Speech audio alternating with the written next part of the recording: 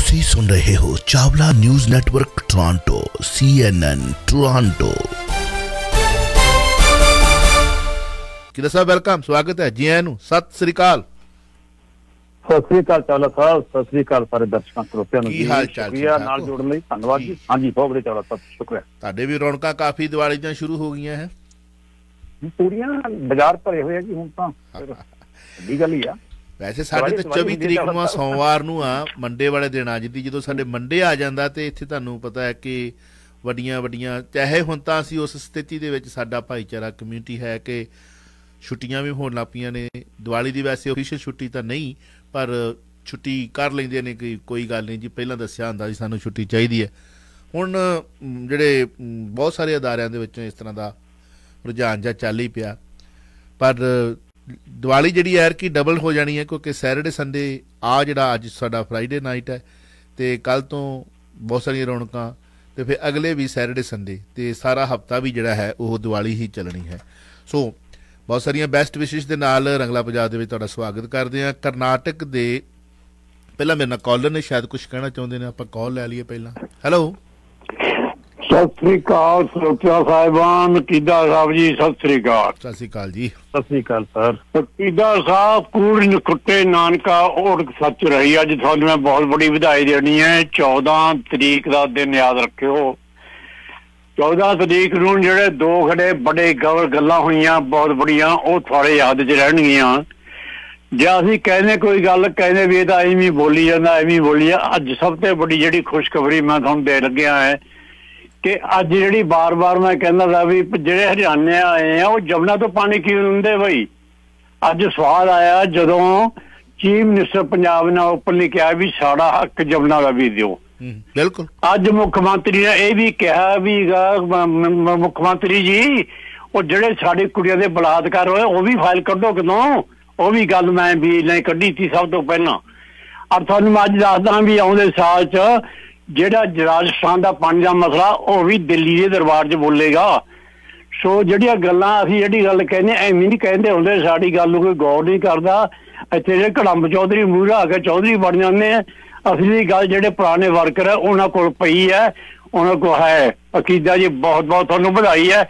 ਜੇ ਇਸ ਤਰ੍ਹਾਂ ਸਾਡੇ ਮੁੱਖ ਮੰਤਰੀ ਨੇ ਧਿਆਨ ਦੇ ਦਿੱਤਾ ਨਾ ਥੋੜਾ ਆਪਣਾ ਖੜ ਖੜ ਗਏ ਆਪਣੇ ਬਿਆਨ ਤੇ। ਸਵਾਦ ਆ ਜਾਊਗਾ ਪਾਣੀ ਦਾ ਮਸਲਾ ਆਪਣੇ ਹੱਲ ਹੋ ਜਾਊਗਾ ਥੈਂਕ ਯੂ ਵੈਰੀ ਮੱਚ ਲਓ ਜੀ, ਇਹ ਸੀ ਇਹਨਾਂ ਦੀਆਂ ਭਾਵਨਾਤਮਕ ਤੌਰ ਤੇ ਗੱਲਾਂ। ਅਸੀਂ ਅੱਜ ਵੈਸੇ ਸਾਰੇ ਹੀ ਪੰਜਾਬੀ ਜਿਹੜੇ ਨੇ, ਇਹੀ ਤੇ ਪਰਫਾਰਮੈਂਸ ਚਾਹੁੰਦੇ ਆ ਭਗਵੰਤ ਮਾਨ। ਇੱਥੋਂ ਸ਼ੁਰੂ ਕਰ ਲੈਨੇ ਆਪਾਂ, ਕਿਦਾ ਸਾਹਿਬ? ਇਹੀ ਜਿਹਾ ਹੀ ਤੇ ਮੁੱਖ ਮੰਤਰੀ ਚਾਹੁੰਦੇ ਹਾਂ ਅਸੀਂ। ਇਹੋ ਜਿਹੀ ਤਾਂ ਗੜਸ ਵਾਲਾ ਮੁੱਖ ਮੰਤਰੀ ਜੋ ਪਹਿਲਾਂ ਬਿਆਨ ਦਿੱਤੇ ਨੇ, ਹੋਰ ਸਾਡਾ ਕੋਈ ਉਹਨਾਂ ਨਾਲ ਕੋਈ ਨਿੱਜੀ ਥੋੜੀ ਹੈ। ਅਸੀਂ ਤੇ ਸਰਕਾਰਾਂ ਦੇ ਬਿਆਨਾਂ ਦੇ ਉੱਤੇ ਉਹਨਾਂ ਨੂੰ ਚਿੱਥਣ ਵਾਲਿਆਂ ਚੋਂ ਆ ਹਾਂਜੀ? ਕਿਉਂ ਕਿਦਾ ਸਾਹਿਬ? ਅੱਜ ਮਜ਼ਾ ਆ ਗਿਆ। ਜੇ ਤੁਸੀਂ ਕਹਿੰਦੇ ਹੋ ਬਾਸੀ ਸਾਹਿਬ ਕਹਿ ਕੇ ਗਏ ਨੇ ਕਿ ਮਸਲਾ ਠਾਇਆ ਕਿ ਪਈ ਹੈ ਨਹੀਂ ਪਾਣੀ। ਸਾਨੂੰ ਉਹ ਸਾਡਾ ਦੂਜਾ ਵੀ ਹੱਕ ਦਿਓ ਤੀਜਾ ਵੀ ਹੱਕ ਦਿਓ।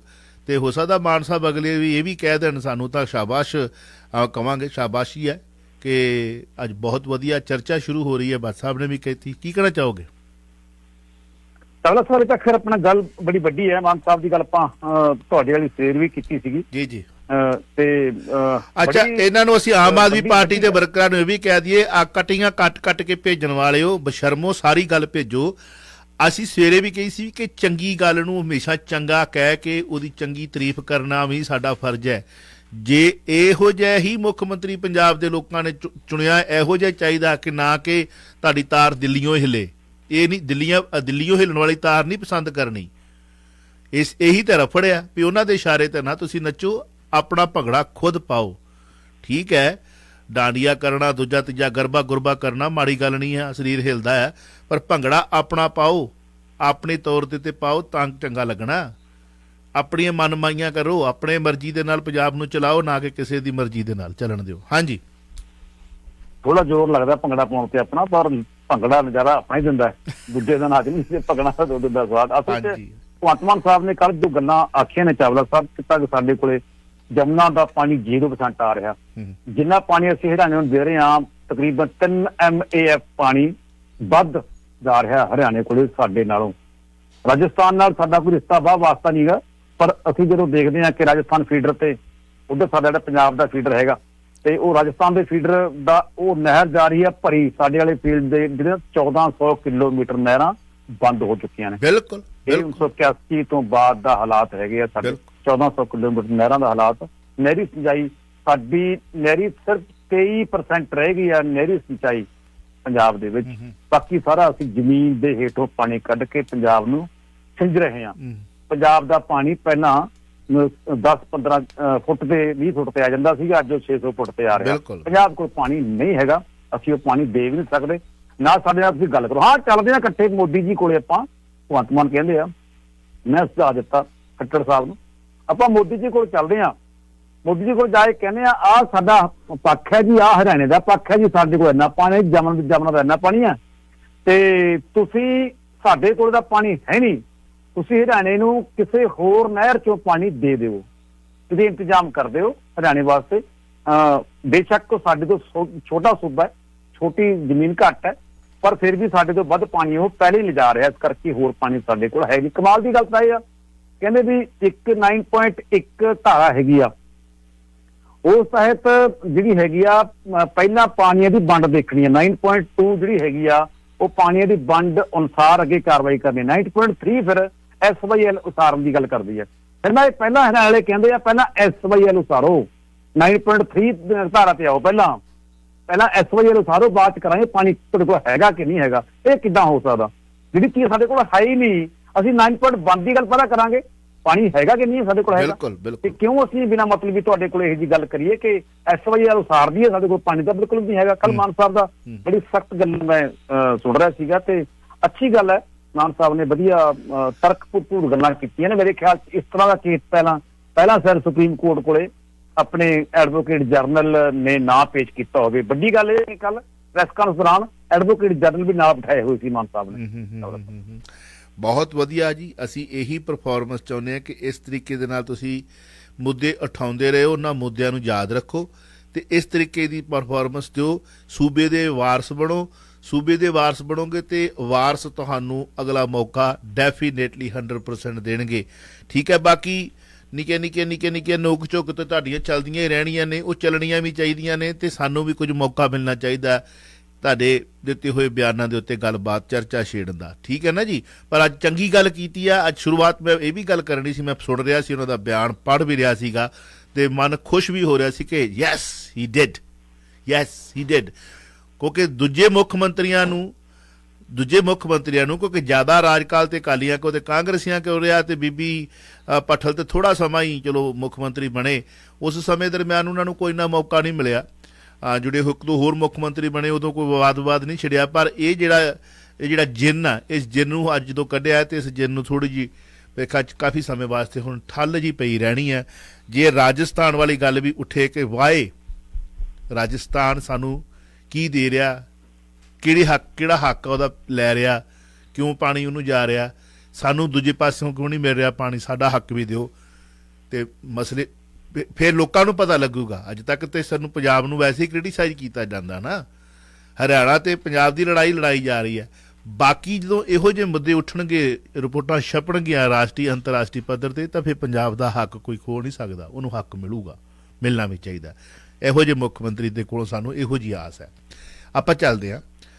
ਕਰਨਾਟਕ ਦੇ ਕੋਪਲ ਤੇ ਮਨੀਸ਼ਾ ਭੱਲਾ ਦੀ ਰਿਪੋਰਟ ਬਾਰੇ। ਅੱਜ ਵੀ ਦੇਵਦਾਸੀਆਂ ਹਨ। ਗਰਭਵਤੀ ਹੋ ਗਈ ਤਾਂ ਛੱਡ ਦਿੰਦੇ ਹਨ। ਠੋਕਰਾਂ ਖਾਨ ਨੂੰ ਦਰਦਨਾਕ ਕਹਾਣੀ ਹੈ। ਕੱਲ ਅਸੀਂ ਕਹਾਣੀ ਅੰਮ੍ਰਿਤਸਰ ਦੀ ਸੁਣਾਈ ਸੀ ਕਿ ਅੰਮ੍ਰਿਤਸਰ ਦੇ ਵਿੱਚ ਨਸ਼ਿਆਂ ਦੀ ਖਾਤਰ ਲੜਕੀਆਂ ਜਿਸਮ ਵੇਚ ਰਹੀਆਂ ਨੇ। ਅੱਜ ਅਸੀਂ ਕਰਨਾਟਕ ਦੀ ਕਹਾਣੀ ਤੁਹਾਨੂੰ ਸੁਣਾ ਦਿੰਦੇ ਹਾਂਜੀ। ਕਰਨਾਟਕ ਵਿੱਚ ਚੌਰਾ ਸਾਹਿਬ ਦੇਵਦਾਸੀਆਂ ਦਾ ਗੜ ਜਮੀ ਬੰਗਲੁਰੂ ਤੋਂ ਤਕਰੀਬਨ 400 ਕਿਲੋਮੀਟਰ ਦੂਰ ਹੈ। ਕਰਨਾਟਕ ਦਾ ਜ਼ਿਲ੍ਹਾ ਕੋਪਲ। ਤੇ ਉੱਥੇ ਆਮ ਤੌਰ ਤੇ ਅਹ, ਜਿਹੜੇ ਕੁਝ ਮੰਦਿਰ ਹੈਗੇ ਆ ਤੇ ਹੁਲਗੇਮਾ ਦੇਵੀ ਦਾ ਮੰਦਿਰ ਵੀ ਹੈਗਾ ਉੱਥੇ। ਕਾਫੀ ਇਕੱਠ ਵੀ ਰਹਿੰਦਾ ਹੈ। ਦੋ ਹੁਦੋ ਸ਼ਲੋਕ ਚਾਰੇ ਹਵਾ ਦੇ ਵਿੱਚ ਤੈਰ ਰਹੇ ਹੁਦੋ ਹੁਦੋ ਕਰਕੇ ਸ਼ਲੋਕ ਚਾਰੇ ਪਾਸੇ ਹਵਾ ਵਿੱਚ ਤੈਰ ਰਹੇ ਹੁੰਦੇ ਆ ਉੱਥੇ। ਆਮ ਤੌਰ ਤੇ ਜਿਹੜੀ ਜੋ ਪੱਤਰਕਾਰ ਲਿਖਦੀ ਹੈਗੀ ਹੈ ਮੌਕੇ ਤੇ। ਬੜੀਆਂ ਸੋਹਣੀਆਂ ਕੁੜੀਆਂ ਨਜ਼ਰ ਆਉਂਦੀਆਂ ਨੇ ਉੱਥੇ। ਹਲਦੀ ਕੁਮਕੁਮ ਅਨਾਜ ਸਬਜ਼ੀ ਧੁੱਪ, ਅਗਰਬੱਤੀ, ਸੁਪਾਰੀ ਪਾਨ ਪੱਤਾ ਕੇਲਾ ਤੇ ਹੋਰ ਕਈ ਤਰ੍ਹਾਂ ਦੇ ਸਜਾਵਟਾਂ ਨਾਲ ਬੜੀਆਂ ਸਜੀਆਂ ਹੋਈਆਂ ਔਰਤਾਂ ਸਾਹਮਣੇ ਨਜ਼ਰ ਆਉਂਦੀਆਂ ਨੇ। ਤੇ ਹੁਣ ਇਹ ਔਰਤਾਂ ਜਿਹੜੀਆਂ ਹੈਗੀਆਂ ਨੇ, ਇਹਨਾਂ ਦੇ ਵਿੱਚ ਇਹ ਕੀ ਕਿਹਾ ਜਾਂਦਾ ਇਹਨਾਂ? ਨੂੰ ਇਹਨਾਂ ਨੂੰ ਉੱਥੇ ਦੀ ਭਾਸ਼ਾ ਦੇ ਵਿੱਚ ਜਿਹੜਾ ਆਮ ਤੌਰ ਤੇ ਉੱਥੇ ਦੀ ਭਾਸ਼ਾ ਆਪਣੇ ਤਰੀਕੇ ਨਾਲ ਉਹਨੂੰ ਇੱਕ ਵਿਸ਼ੇਸ਼ ਸ਼ਬਦ ਨਾਲ ਪ੍ਰਚਾਰਦੀਆਂ ਹੈਗੀਆਂ ਨੇ। ਵੈਸੇ ਉਹ ਜੋ ਉਹ ਕਹਿੰਦੇ ਵੀ ਇਹ ਦੇਵਦਾਸੀਆਂ ਹੈਗੀਆਂ ਨੇ।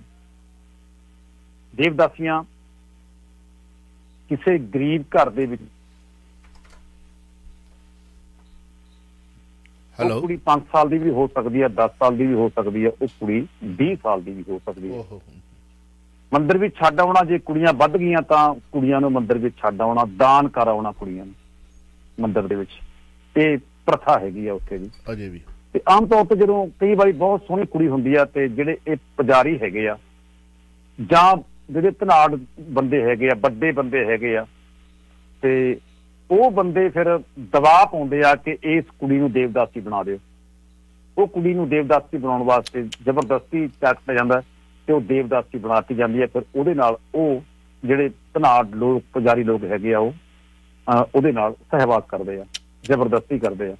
ਉਸ ਤੋਂ ਬਾਅਦ ਉਹਨਾਂ ਦੇ ਬੱਚੇ ਵੀ ਹੋ ਜਾਂਦੇ ਆ, ਜਦੋਂ ਬੱਚੇ ਹੋ ਜਾਂਦੇ ਆ, ਫਿਰ ਉਹ ਉਹਨਾਂ ਨੂੰ ਛੱਡ ਦਿੰਦੇ ਆ, ਤੇ ਉਹ ਪੰਜ ਸੱਤ ਦੇਵਦਾਸੀਆਂ ਦੀ ਕਹਾਣੀ ਬੜੀ ਦਰਦਨਾਕ ਹੈ। ਜਿਨ੍ਹਾਂ ਅਸਲ 'ਚ ਕੀ ਹੋਇਆ ਕਿ ਇੱਕ ਘਰ ਦੇ ਵਿੱਚ 6 ਕੁੜੀਆਂ, ਦੋ ਦੇਵਦਾਸੀ ਬਣ ਗਈਆਂ, ਚਾਰ ਵਿਆਹ ਦਿੱਤੀਆਂ ਗਈਆਂ। ਦੇਵਦਾਸੀਆਂ ਦੀ ਇੱਜ਼ਤ ਕੋਈ ਖਾਸ ਨਹੀਂ। ਜਿਹੜੀਆਂ ਬਹਿਆਂ ਗਈਆਂ, ਉਹਨਾਂ ਵਾਸਤੇ ਹਰ ਚੀਜ਼ ਮਿਲਦੀ ਹੈ।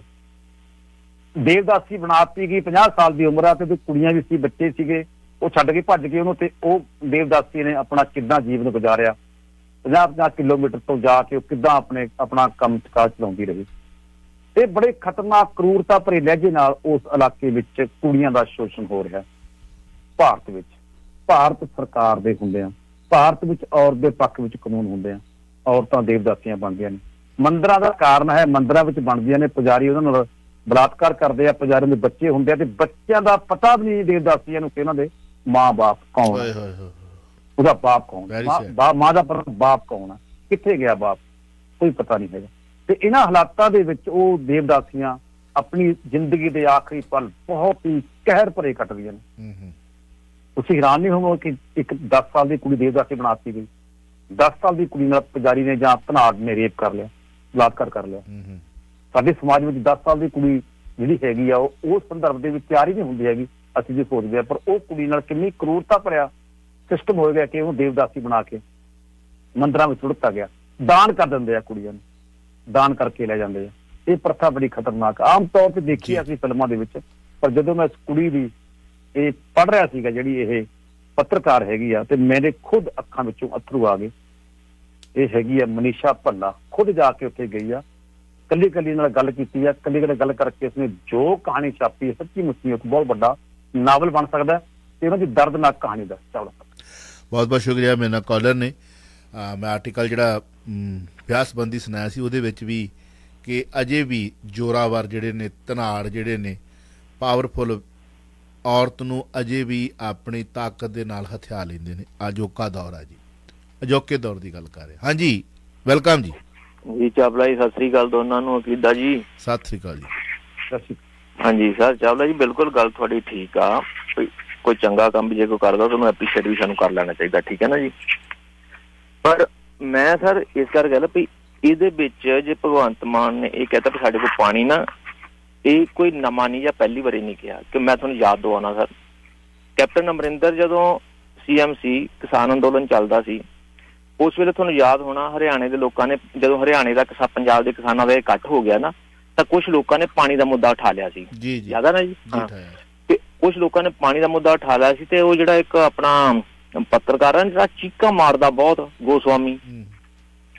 ਉਹਨੇ ਉਹਨੇ ਪਾਣੀ ਦੇ ਮੁੱਦੇ ਨੂੰ ਲੈ ਕੇ ਕੈਪਟਨ ਅੱਜ ਵੀ ਕਿਤੇ YouTube ਤੇ ਉਹਦੇ ਤੇ ਪਈ ਹੋਣੀ ਵੀਡੀਓ ਤੁਸੀਂ ਪੁਰਾਣੀ ਕੱਢ ਕੇ ਦੇਖ ਲਿਓ। ਕੈਪਟਨ ਅਮਰਿੰਦਰ ਨੂੰ ਲਾਈਨ ਤੇ ਲਿਆ ਕੇ ਜਦੋਂ ਇੱਕ ਡਿਬੇਟ ਚੱਲੀ ਸੀ ਇਹਨਾਂ ਦੀ। ਹੁਣ ਚਲੋ ਭਗਵੰਤ ਮਾਨ ਤਾਂ ਮੀਟਿੰਗ ਦੇ ਵਿੱਚ ਇਨਡੋਰ ਕਹਿ ਕੇ ਆਇਆ ਬਾਹਰ ਆ ਕੇ ਬਿਆਨ ਦਿੱਤਾ ਵੀ ਮੈਂ ਆ ਜਵਾਬ ਦੇ ਕੇ ਆਇਆ ਰਾਈਟ ਅਸੀਂ ਤੁਸੀਂ ਉੱਥੇ ਨਹੀਂ ਸੀ। ਚਲੋ ਮੰਨ ਕਿਹਾ ਵੀ ਹੋਊਗਾ ਚੰਗੀ ਗੱਲ ਹੈ ਜੇ ਰਿਪਲਾਈ ਦਿੱਤਾ ਪੰਜਾਬ ਦੇ ਹੱਕ 'ਚ।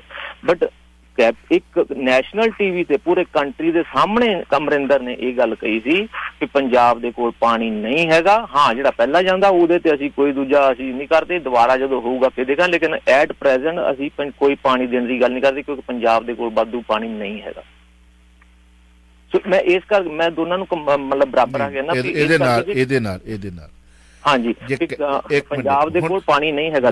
ਬ੍ਰਦਰ ਹੁਣ ਤੁਸੀਂ ਪੂਰਾ ਬੋਲ ਲਿਆ ਮੈਂ ਤੁਹਾਨੂੰ ਕੱਟਿਆ ਨਹੀਂ। ਮੈਨੂੰ ਪਤਾ ਸੀ ਤੁਹਾਡੀ ਗੱਲ ਕੱਟ ਕੇ ਵਿੱਚੋਂ ਮੈਂ ਸਮਾਂ ਵੇਸਟ ਨਹੀਂ ਕਰਨਾ ਚਾਹੁੰਦਾ। ਹੁਣ ਤੁਸੀਂ ਮੇਰਾ ਸਮਾਂ ਵੇਸਟ ਨਾ ਕਰਿਓ। ਐਜ ਏ ਹੋਸਟ ਤੁਸੀਂ ਗੱਲ ਕੀਤੀ, ਕੀ ਦਾ ਸਾਹਿਬ ਵੀ ਜਵਾਬ ਦਿਓ ਅਕਾਲੀਆਂ ਨੇ ਐਸਵਾਈਐਲ ਜਿਹੜੀ ਆ, ਪੂਰਤੀ, ਆਪਾਂ ਉਹਨਾਂ ਨੂੰ ਵੀ ਕ੍ਰੈਡਿਟ ਦੇ ਦਈਏ। ਜਿਸ ਬੰਦੇ ਦੀ ਤੁਸੀਂ ਗੱਲ ਕਰ ਰਹੇ ਹੋ, ਕੈਪਟਨ ਦੀ, ਕੈਪਟਨ ਅਮਰਿੰਦਰ ਸਿੰਘ ਨੇ ਚਾਂਦੀ ਦੀ ਕਹੀ ਦਿੱਤੀ ਸੀ, ਇੰਦਰਾ ਗਾਂਧੀ ਨੂੰ ਟੱਕ ਲਾਉਣ ਵਾਸਤੇ। ਇਹ ਉਦੋਂ ਸਹੀ ਸੀ ਜਾਂ ਹੁਣ ਸਹੀ ਸੀ, ਆਪਾਂ ਇਹ ਫੈਸਲਾ ਕਰਨਾ। ਅੱਜ ਭਗਵੰਤ ਮਾਨ ਨੂੰ ਅਸੀਂ ਇਸ ਕਰਕੇ ਕਹਿ ਰਹੇ ਹਾਂ ਕਿ ਜੇ ਬੋਲਿਆ ਤਾਂ ਠੀਕ ਬੋਲਿਆ ਕਿ ਸਾਨੂੰ ਜਮਣਾ ਚੋਂ ਹਿੱਸਾ ਦਿਓ। ਪਹਿਲਾਂ ਮੰਗਿਆ ਇਹਨਾਂ ਨੇ ਕਿਤੇ? ਇਹ ਤਾਂ ਬੋਲਦੇ ਸੀ। ਇਹ ਤਾਂ ਇਹ ਤਾਂ ਉਸ ਵਕਤ ਵੀ ਕੈਪਟਨ ਸਾਹਿਬ ਪਾਣੀ ਦੇ ਰਾਖੇ ਦੇ ਤੌਰ ਤੇ ਜਦੋਂ ਅਹ, ਕੈਨੇਡਾ ਦੇ ਵਿੱਚ ਆਏ ਸੀ ਜਿੱਥੇ ਕਾਂਗਰਸੀ ਕੋਈ ਲੀਡਰ ਆਉਂਦਾ ਸੀ ਤੇ ਆਂਡਿਆਂ ਦੇ ਨਾਲ ਸਵਾਗਤ ਹੁੰਦਾ ਸੀ। ਤੇ ਕੀਦਾ ਸਾਹਿਬ ਮੈਂ ਕਈ ਵਾਰੀ ਬੋਲ ਚੁੱਕਾ ਕਿ ਆ ਮੇਰੇ ਤੋਂ 5 ਕਿਲੋਮੀਟਰ ਦੂਰ ਆ। ਮੈਂ ਵਾਕ ਕਰਨ ਜਾਣਾ ਨਾ ਪੂਰਾ 5 ਕਿਲੋਮੀਟਰ ਆ ਉਹ ਬੈਂਕਟ ਹਾਲ। ਜਿੱਥੇ ਓਨਟਾਰੀਓ ਦਾ ਕੀ, ਕੈਨੇਡਾ ਦਾ ਕਿਹੜਾ ਖਾਲਿਸਤਾਨੀ ਸੀ ਜਿਹੜਾ ਨਹੀਂ ਸੀ ਵੈਲਕਮ ਕਰਨ ਆਇਆ? ਕੱਲੇ ਕੱਲੇ ਟੇਬਲ ਦੀ ਮੇਰੇ ਕੋਲ ਵੀਡੀਓ ਪਈ ਆ। ਉਦੋਂ ਮੈਂ ਟੈਲੀਵਿਜ਼ਨ ਬੈਲ ਤੇ ਕਰਦਾ ਹੁੰਦਾ ਸੀਗਾ। 2 ਘੰਟੇ ਦਾ ਸੀ। ਕੱਲੇ ਕੱਲੇ ਟੇਬਲ ਦੀ ਖਾਲਿਸਤਾਨੀਆਂ ਦੀ ਬੱਬਰ ਖਾਲਸਾ ਲੈ ਲਓ, ਤੁਸੀਂ ਕਿਹੜਾ ਕਰਨਾ ਕਿਹੜਾ ਕਿਹੜਾ ਕਹੋਗੇ? ਜਦੋਂ ਕੈਪਟਨ ਵਾਪਸ ਗਿਆ ਸੀ ਤੇ ਇੱਕ ਤਸਵੀਰ ਦੀ ਚੱਕਰ ਪਈ ਸੀ ਨਾ ਡਿਕਸੀ ਗੁਰਦੁਆਰਾ ਸਾਹਿਬ ਤੇ, ਉਹ ਹੰਸਰਾ ਸਾਹਿਬ ਨੇ ਖਿੱਚੀ ਸੀ। ਜਿੱਥੇ ਪਿੱਛੇ ਖਾਲਿਸਤਾਨ ਲਿਖਿਆ। ਇਹ ਉਸ ਵਕਤ ਕੈਪਟਨ ਸਾਹਿਬ ਆਏ ਸੀ ਤੇ ਪੰਜਾਬੀਆਂ ਨੇ ਸਤਿਕਾਰ ਦਿੱਤਾ। ਮਾਣ ਦਿੱਤਾ ਇੱਜ਼ਤ ਦਿੱਤਾ ਰਖਵਾਲੇ ਬਣ ਕੇ ਉਹ ਜਦੋਂ ਆਏ ਪਰ ਜਦੋਂ ਵੀਰ ਜੀ ਜੇ ਚਾਂਦੀ ਦੀ ਕਈ ਦਿੱਤੀ ਆ ਤੇ ਉਹ ਵੀ ਤੇ ਇਤਿਹਾਸ ਦੇ ਪੰਨਿਆਂ ਦੇ ਵਿੱਚ ਇਹਨਾਂ ਨੂੰ ਹੀ ਲੱਗਣੀ ਹੈ ਨਾ ਜੇ ਆਪਾਂ ਅ, ਸਰਦਾਰ ਸਿਮਰਜੀਤ ਸਿੰਘ ਮਾਨ ਉਹਨਾਂ ਦੇ ਉਹ ਨਾਨਾ ਜੀ ਹੀ ਕਿ ਦਾਦਾ ਨਾਨਾ ਜੀ ਜਿਨ੍ਹਾਂ ਨੇ ਸਰੋਪਾ ਦਿੱਤਾ ਸੀਗਾ ਤੇ ਉਹਨੂੰ ਯਾਦ ਕਰਦੇ ਤੇ ਕਈ ਵੀ ਤਾਂ ਟਾਕੇ ਨੇ ਮਾਰਿਆ ਮੈਂ ਚਾਵਲਾ ਜੀ ਉਹੀ ਗੱਲ ਕਹਿਣ ਲੱਗਾ ਸੀ, ਉਹ ਆਪਾਂ ਮੈਂ ਵਿੱਚ ਖਾ ਵੀ ਹਾਲਾਂਕਿ ਸ਼ੁਰੂ ਇਹ ਪੰਗੇ ਪਾਉਣੇ ਵਾਲੇ ਵੀ ਇਹਨਾਂ ਨੇ ਪਾਏ ਆ, ਪੰਗੇ ਪਾਉਣੇ ਵਾਲੇ ਵੀ ਇਹੀ ਆ। ਮੈਂ ਤਾਂ ਮਤਲਬ ਕਿ ਇਹਦੀ ਹੱਕ, ਇਸ ਸਿਰਫ ਇੰਨੇ ਦੀ ਗੱਲ ਕੀਤੀ ਵੀ ਪੰਜਾਬ ਦੇ ਕੋਲ ਪਾਣੀ ਨੈਸ਼ਨਲ ਹੈ। ਤੁਸੀਂ ਨੈਸ਼ਨਲ ਟੀਵੀ ਦੀ ਗੱਲ ਕਰਦੇ ਹੋ, ਅੱਜ ਅੰਤਰਰਾਸ਼ਟਰੀ ਪੱਧਰ ਤੇ ਗੱਲ ਹੋ ਰਹੀ ਹੈ ਭਗਵੰਤ ਮਾਨ ਦੀ। ਯੈਸ ਹੀ ਡਿਡ ਸਾਨੂੰ ਇਹੋ ਜਿਹਾ ਮੁੱਖ ਮੰਤਰੀ ਚਾਹੀਦਾ, ਇਸ ਕਰਕੇ ਪੰਜਾਬੀਆਂ ਨੇ ਚੁਣਿਆ ਕਿ ਅੱਜ ਮੁੱਦਿਆਂ ਦੇ ਤੱਥਾਂ ਦੇ ਆਧਾਰ ਤੇ ਉਹਨੇ ਕਿਹਾ ਕਿ ਮੈਂ ਮੈਂ ਉਹ ਉਹ ਜਿਹੜੇ ਪੰਜਾਬ ਦੇ ਪਾਣੀਆਂ ਦੇ ਉੱਤੇ ਕਈ ਕਿਤਾਬਾਂ ਲਿਖ ਚੁੱਕੇ ਆ ਐਕਸਪਰਟ ਨੇ ਕੱਲੇ ਰਾਜਨੀਤਿਕ ਨਹੀਂ ਕਿ ਮੈਂ ਐਕਸਪਰਟ ਦੇ ਕੋਲ ਬੈਠ ਕੇ ਵਿਚਾਰ ਚਰਚਾ ਕਰਕੇ ਫੇਰ ਜਿਹੜਾ ਇਹ ਮਸਲਾ ਉਠਾਇਆ ਔਰ ਤੱਥਾਂ ਦੇ ਆਧਾਰ ਤੇ ਉਠਾਇਆ। ਵਾਕਈ 10 10 ਸੈਕਿੰਡ ਦੋਗੇ ਜੀ? ਜੀ। ਹਾਂ, ਇੱਕ ਤਾਂ ਜੀ ਜਿਹੜਾ ਜਮਨਾ ਚੋਂ ਪਾਣੀ ਦਾ ਨਾ, ਉਹ ਸਰ ਜਿੰਨਾ ਕੁ ਮੈਨੂੰ ਪਤਾ, ਉਹ ਭਗਵੰਤ ਮਾਨ ਨੇ ਇਹ ਕਿਹਾ ਵੀ ਜੇ ਤੁਸੀਂ ਪਾਣੀ ਦੇਣਾ, ਦਿੱਲੀ ਨੂੰ ਜਮਨਾ ਚੋਂ ਦੇ ਦਿਓ ਜਾਂ ਮੇਰਾ ਖਿਆਲ ਜਮਨਾ ਚੋਂ ਪੰਜਾਬ ਨੂੰ ਦੇਣ ਦੀ ਭਾਜੀ, ਸਾਡਾ ਵੀ ਹੱਕ ਬਣਦਾ ਨਾ ਉਹਦੇ ਵਿੱਚ। ਨਹੀਂ ਧਿਆਨ ਨਾਲ ਸੁਣ ਲਓ ਪਹਿਲਾਂ ਤੁਸੀਂ ਉਹਨਾਂ ਨੂੰ ਆਪਾਂ ਕੀਦਾ ਸਾਹਿਬ ਨੂੰ ਪੁੱਛ ਲੈਣ ਇਹ ਥੋੜੀ ਕਿ ਤੁਸੀਂ? ਨਹੀਂ ਮੈਂ ਜੇ ਰੇਡੀਓ ਤੇ ਸੁਣਿਆ ਮੈਂ ਮੈਂ ਨਹੀਂ ਕਿਹਾ ਮੈਂ ਰੇਡੀਓ ਤੇ ਸੁਣਿਆ ਤੁਸੀਂ ਚਲੋ ਠੀਕ, ਮਿਹਰਬਾਨੀ। ਪਾਣੀ ਦੇਣਾ ਤਾਂ ਜਮਨਾ ਤੋਂ ਦੇ ਦਿਓ। ਪਰ ਅੱਜ ਅੱਜ ਦਿਨ ਅੱਜ ਦਿਨ ਭਗਵੰਤ ਮਾਨ ਦਾ ਨੈਸ਼ਨਲ ਟੀਵੀ ਨੂੰ ਛੱਡੋ ਤੁਸੀਂ ਉਹਨਾਂ ਨੇ ਚੀਕਾ ਮਾਰ ਕੇ ਕੀ ਕਿਹਾ ਤੇ ਉਹਨੇ ਕੀ ਕਿਹਾ ਉਹ ਦੱਸ ਡਿਫਰੈਂਟ ਸਟੋਰੀ ਹੈ। ਪਰ ਚਾਂਦੀ ਦਾ ਚਾਂਦੀ ਦੀ ਕਈ ਵੀ ਤਾਂ ਇਹਨਾਂ ਨੇ ਦਿੱਤੀ ਹੈ। ਕਿਉਂ ਕੀਦਾ ਸਾਹਿਬ? ਕੀ ਇਹ ਉਹ ਪਿਛਲੇ ਆਪਾਂ ਕਿੱਦਾਂ ਮਾਫ ਕਰ ਸਕਦੇ ਹਾਂ ਚਾਵਲਾ ਸਾਹਿਬ ਸਾਰਾ ਕੁਝ ਤਾਂ ਕੀਤਾ ਕਾਂਗਰਸ ਨੇ ਅਕਾਲੀਆਂ ਨੇ ਕੀਤਾ ਤਾਂ ਸਾਰਾ ਕੁਝ ਹੀ ਹੈ ਨਾ। ਉਹਨਾਂ ਨੇ ਉਹ ਅਸੀਂ ਉਹ ਵੀ ਨਹੀਂ ਭੁੱਲਦੇ ਕਿ ਅਕਾਲੀਆਂ ਨੇ ਤਾਂ ਨਹਿਰ ਤੱਕ ਪੂਰਤੀ ਗਈ ਸੀਗੀ। ਉਹ ਵੀ ਅਸੀਂ ਪਿੱਛੇ ਨਹੀਂ ਹਟ ਸਕਦੇ। ਅਸਲ 'ਚ ਕੰਡੇ ਬੀਜਣੇ ਵਾਲੇ ਤਾਂ ਸਾਡੇ ਪੰਜਾਬੀ ਲੀਡਰ ਹੀ ਹੈਗੇ ਆ ਲੀਡਰ ਹੀ ਆ। ਇਹ ਨਹੀਂ ਕਿ ਤਾਂ ਬਾਦਲ ਸਾਹਿਬ ਸਾਰੇ ਮੁੱਦਿਆਂ ਤੇ ਜਦੋਂ ਬਰਾਜੀ ਦਸਾਈ ਨੇ ਇਹ ਕਹਿ ਦਿੱਤਾ ਸੀ ਮੁੱਖ ਪ੍ਰਧਾਨ ਮੰਤਰੀ ਸੀ ਉਸ ਵਕਤ ਕਿ ਕਿਹੜੀ ਗੱਲ ਕਰਦੇ ਹੋ? ਹਰਿਆਣਾ ਦਾ ਤਾਂ ਹੱਕ ਹੀ ਨਹੀਂ ਬਣਦਾ। ਉਸ ਵਕਤ ਇਹਨਾਂ ਨੂੰ ਆਪਣੀ ਯਾਰੀ ਯਾਦ ਆ ਗਈ ਕਿਉਂਕਿ ਇਹਨਾਂ ਦੀ ਉਥੇ ਚਟਾਲਿਆਂ ਦੇ ਨਾਲ ਕਹਿ ਲੋ ਕਿ ਆਪਣੀ ਯਾਰੀ ਉਹ ਰਲ ਕੇ ਚੁਗਲੀ ਉੱਥੇ। ਜੇ ਉਸ ਵਕਤ ਮਾੜਾ ਜਿਹਾ ਲਿਖਾ ਲੈ ਦਿੰਦੇ ਪ੍ਰਧਾਨ ਮੰਤਰੀ ਦੇ ਕੋਲ ਤਾਂ ਕਿਹੜਾ ਪਾਣੀ ਦਾ ਇਹ ਮਸਲਾ ਹੀ ਖਤਮ ਹੋ ਜਾਣਾ ਸੀ? ਇਹ ਜਾਣਦੇ ਹੋ ਤੁਸੀਂ? ਜੀ ਚਲੋ ਇਹ ਸਾਰੇ ਇੱਕੋ ਇੱਕੋ ਥੈਲੀ ਦੇ ਭਾਈ ਚੱਟੇ ਵੱਟੇ ਨੇ। ਕਿਸੇ ਨੂੰ ਕ੍ਰੈਡਿਟ ਦੇਣ ਤੋਂ ਪਹਿਲਾਂ ਅੱਜ ਜਿਹਨੂੰ ਜਿਹਦਾ ਕ੍ਰੈਡਿਟ ਬਣਦਾ ਅਸੀਂ ਤੇ ਦਵਾਂਗੇ। ਚਾਹੇ ਤੁਸੀਂ ਸਾਨੂੰ ਆਮ ਆਦਮੀ ਪਾਰਟੀ ਦਾ ਕਰਿੰਦਾ ਸਮਝ ਲਓ ਠੱਪੇ ਲਾਉਣੇ ਲਾਈ ਚਲਿਓ ਪਰ ਅੱਜ ਹੀ ਡਿਡ ਉਹਨੇ ਮੰਗ ਰੱਖੀ ਹੈ ਕਿ ਸਾਡਾ ਹੱਕ ਇੱਥੇ ਰੱਖ। ਚਲੋ ਆਪਾਂ ਗੱਲ ਨੂੰ ਅੱਗੇ ਤੋਰਦੇ ਹਾਂ। ਆਪ ਦੇ ਦਿੱਲੀ ਦੇ ਸਾਬਕਾ ਮੰਤਰੀ ਹੈ ਰਜਿੰਦਰ ਗੌਤਮ। ਹੁਣ ਆਜੋ ਦੂਜੇ ਪਾਸੇ। ਹੁਣ ਆਪਣਾ ਦੂਜਾ ਪਹਿਲੂ ਆ। ਗੁਜਰਾਤ ਵਿੱਚ ਬੀਜੇਪੀ ਨੂੰ ਲਾਭ ਨਾ ਹੋਵੇ ਇਸ ਕਰਕੇ ਅਸਤੀਫਾ ਦਿੱਤਾ। ਅਸਤੀਫਾ ਦਿੱਤਾ ਕਿ ਬਲੀ ਦਾ ਬੱਕਰਾ ਬਣਾਇਆ। ਉਹ ਤਾਂ ਉਹ ਤਾਂ ਜਿਹੜਾ ਗੌਤਮ ਤਾਂ ਬੜੇ ਹੋਰ ਤਰੀਕੇ ਨਾਲ ਕਹਿੰਦਾ ਜੀ ਮੈਂ ਕੀ ਕਰ ਸਕਦਾ ਜੀ ਉਸ ਟਾਈਮ ਜਦੋਂ ਦੇਖੋ ਸਾਡੀਆਂ 22 ਜਿਹੜੀਆਂ ਇਮੇਜਨ ਵਿਧਾਨ ਦਿੱਤੇ ਆ ਡਾਕਟਰ ਵਿਦਕਰ ਨੇ ਅਸੀਂ ਬੋਲੇ ਆ ਉੱਥੇ ਵਿਸ਼ਨੂੰ ਸ਼ਿਵ ਤੇ ਬਰਮਾ ਸਾਡੇ ਦੇਵਤੇ ਨਹੀਂ ਹੈਗੇ। ਅਸੀਂ ਉਹਨਾਂ ਦੇਵਤਿਆਂ ਨੂੰ ਨਹੀਂ ਮੰਨਦੇ ਨਾ ਹੀ ਅਸੀਂ ਉਹਨਾਂ ਨੂੰ ਪੂਜਾਂਗੇ। ਇਹ ਗੱਲ ਬਿਲਕੁਲ ਡਾਕਟਰ ਅੰਬੇਦਕਰ ਕਹਿੰਦੇ ਆ ਤੇ ਉਹ ਅਸੀਂ ਬੋਲੇ ਆ ਤੇ ਉਹ ਗੱਲ ਵੱਖ ਹੈ ਕਿ ਇਹਨਾਂ ਨੇ ਉਹ ਬਹੁਤ ਵੱਡੇ ਪੱਧਰ ਤੇ ਨਿਸ਼ਾਨਾ ਬਣਾਇਆ ਮੈਨੂੰ। ਇਹਦਾ ਮਤਲਬ ਇਹ ਲੋਕ ਜਿਹੜੇ ਹੈਗੇ ਆ, ਇੱਕ ਨਕਾਤੀ ਧਰਮ ਲਿਆਉਣਾ ਚਾਹੁੰਦੇ ਆ, ਉੱਥੇ ਸਿਰਫ ਆਪਣੀ ਗੱਲ ਬਣਾਉਣਾ ਚਾਹੁੰਦੇ ਆ। ਮੈਨੂੰ ਅਸਤੀਫਾ ਦੇਣਾ ਪਿਆ, ਪੁੱਛਿਆ ਗਿਆ ਪੱਤਰਕਾਰ ਵੱਲੋਂ ਕਿ ਤੁਹਾਨੂੰ ਅਸਤੀਫਾ ਦੇਣ ਵਾਸਤੇ ਕੇਜਰੀਵਾਲ ਨੇ ਤਾਂ ਨਹੀਂ ਦਬਾਅ ਪਾਇਆ। ਉਹ ਕਹਿੰਦੇ ਵੀ ਨਹੀਂ, ਦਬਾਅ ਦੀ ਗੱਲ ਕੋਈ ਨਹੀਂ, ਪਰ ਬੀਜੇਪੀ ਨੂੰ ਲਾਭ ਮਿਲ ਰਿਹਾ ਸੀਗਾ ਗੁਜਰਾਤ ਦੇ ਵਿੱਚ, ਕਿਉਂਕਿ ਹਿੰਦੂ ਵੋਟਰ ਪ੍ਰਭਾਵਿਤ ਹੋ ਰਿਹਾ ਸੀਗਾ। ਇਸ ਕਰਕੇ ਮੈਨੂੰ ਅਸਤੀਫਾ ਦੇਣਾ ਪਿਆ। ਹੁਣ ਮੈਂ ਅਸਤੀਫੇ ਤੋਂ ਬਾਹਰ ਜਾ ਕੇ ਆਪਣੇ ਤਰੀਕੇ ਨਾਲ ਗੱਲ ਕਰਾਂਗਾ। ਆਪਣੀ ਜਿਹੜੀ, ਜਿਹੜੇ ਦਲਿਤ ਭਾਈਚਾਰਾ ਹੈਗਾ, ਮੈਂ ਉਹਦੇ ਪੱਖ ਵਿੱਚ ਉਹਦੇ ਮੁੱਦੇ ਉਠਾਵਾਂਗਾ ਹੁਣ ਮੈਂ। ਅੱਛੀ ਤਰ੍ਹਾਂ ਉਠਾ ਸਕਦਾ। ਮੈਂ ਐਡਵੋਕੇਟ ਹਾਂ। ਮੈਂ ਵਕਾਲਤ ਵੀ ਕਰਾਂਗਾ ਇਹਨਾਂ ਦਲਿਤ ਮੁੱਦਿਆਂ ਦੇ ਉੱਤੇ। ਇਹ ਗੱਲ ਵੀ ਜਿੰਦਰ ਗੌਤਮ ਨੇ ਆਖੀ ਆ।